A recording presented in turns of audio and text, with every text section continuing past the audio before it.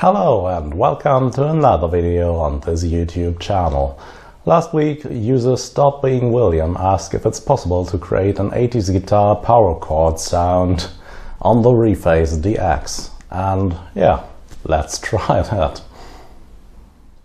Okay, let's begin by initializing our sound and um, for this sound we'll stick with algorithm 1. It's one carrier and three modulators stacked on top of it so we can achieve some yeah, very harmonic rich modulation. The first thing we want to do is get the overall sound right. We do this by stacking operators on top of each other. Turning up the modulators will result in a very metallic, harsh sound, just what we're looking for when recreating the sound of a plucked string.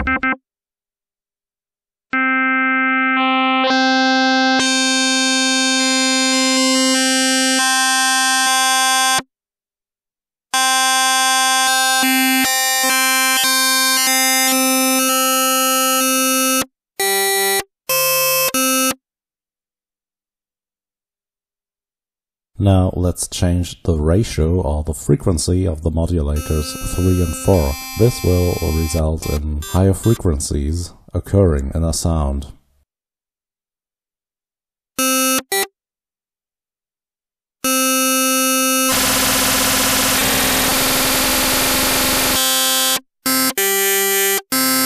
At this point, we want to avoid distortion, so if your sound gets too noisy, Dial down the amplitude of the modulators a little bit until the sound is clean again.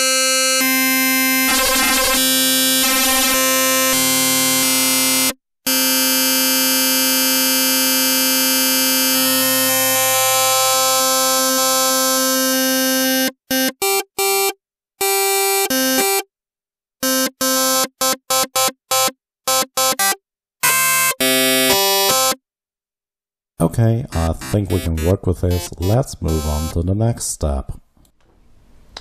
Okay, we got that one sorted out, so now let's try to create some envelopes. So the um, string sound evolves from this harsh metallic sound to a more soft sine wave-like one. So let's see how that works. Okay, the first thing we want to do is to change the amplitude envelope of operator 1, which is the carrier. This means when we change its envelope, this will affect all the other operators too. As we're trying to recreate the characteristics of a guitar string here, we're going for a fast attack, a medium length decay, a little bit of sustain and a fairly quick release. The Reface DX amp envelope editor is split into two parts, EG level to control the amplitude of the envelope and EG rate for the time intervals between the changes. Switching between those two editors can be a little bit awkward as you can see here, but on the other hand, a graphical display of the envelope is nice to have.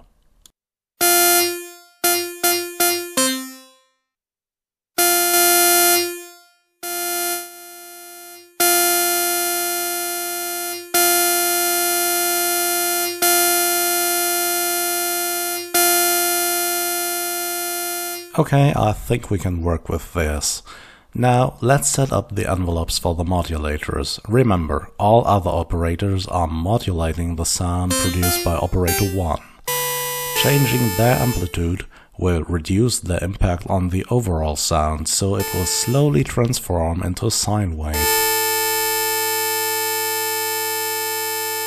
I'll set up the modulator's envelopes in a way that operator 2 will fade away faster than the carrier, operator 3 faster than operator 2, and operator 4 faster than operator 3. This will result in an overall sound which is noisy and metallic in the beginning and mellow and sine wavy in the end.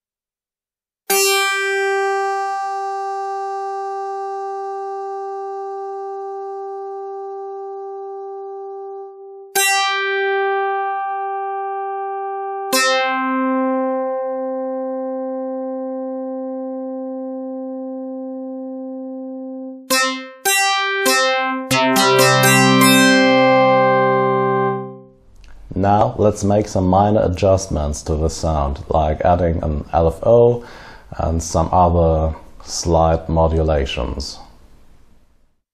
Introducing some pitch depth modulation to the sound makes it less static and more pleasant to our ears. Pitch depth modulation on the modulators will change the sound's brightness over time.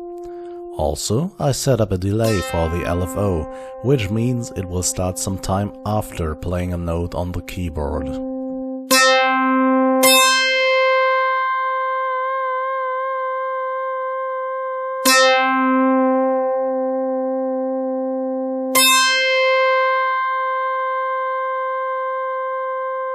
Let's add a little bit of amplitude modulation too.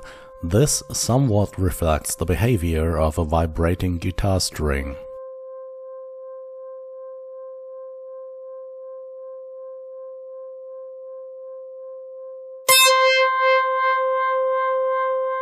The next thing we'll do is to emulate the noise caused by the fingers plucking the string in the beginning of the sound.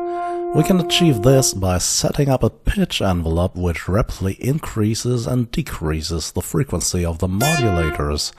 This will result in a short burst of noise at the start of the sound.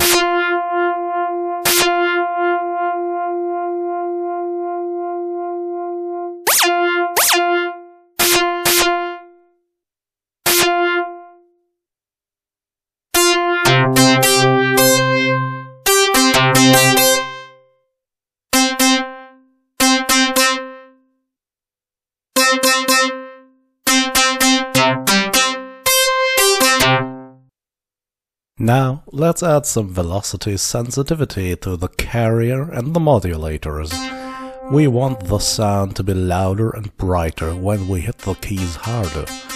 The velocity sensitivity of the carrier determines the loudness of the overall sound, while the one on the modulators determine the brightness.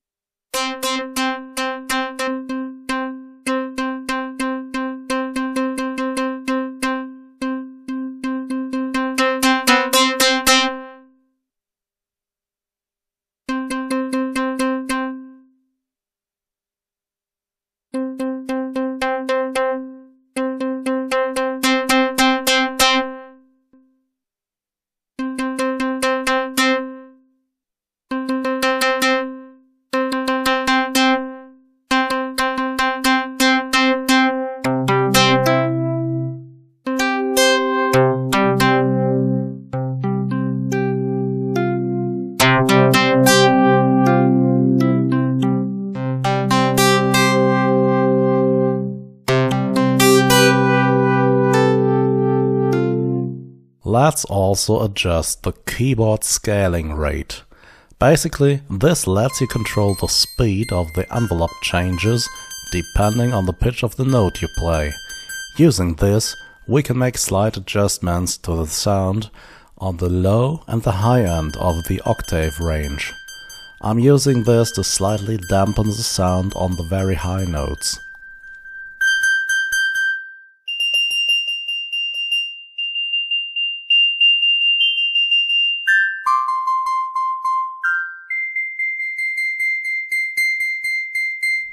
Okay, and in the last step, let's add some effects, which means distortion and delay.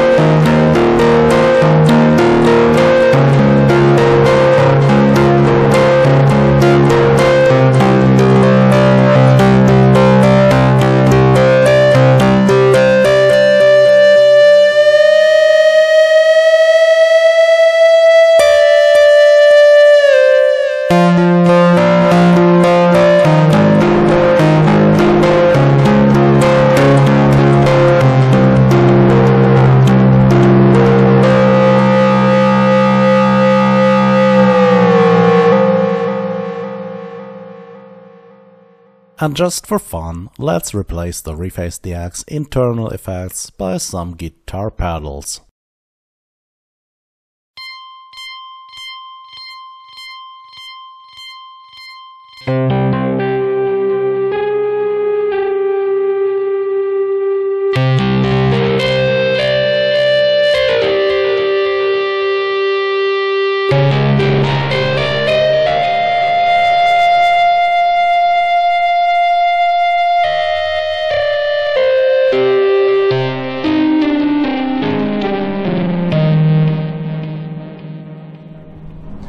Okay, and that's it for today. I hope you enjoyed this video. And um, if you found this useful, please consider subscribing to my channel. I have lots and lots of other synthesizer related videos on there. And um, don't forget to give it a thumbs up if you liked this. And also remember, you can support me on Bandcamp. I've got all my music over there. Here's a link, or maybe here. Um, I really appreciate it if you downloaded it or paid something, whatever. Yeah. And um, yeah, see you next week. Bye bye.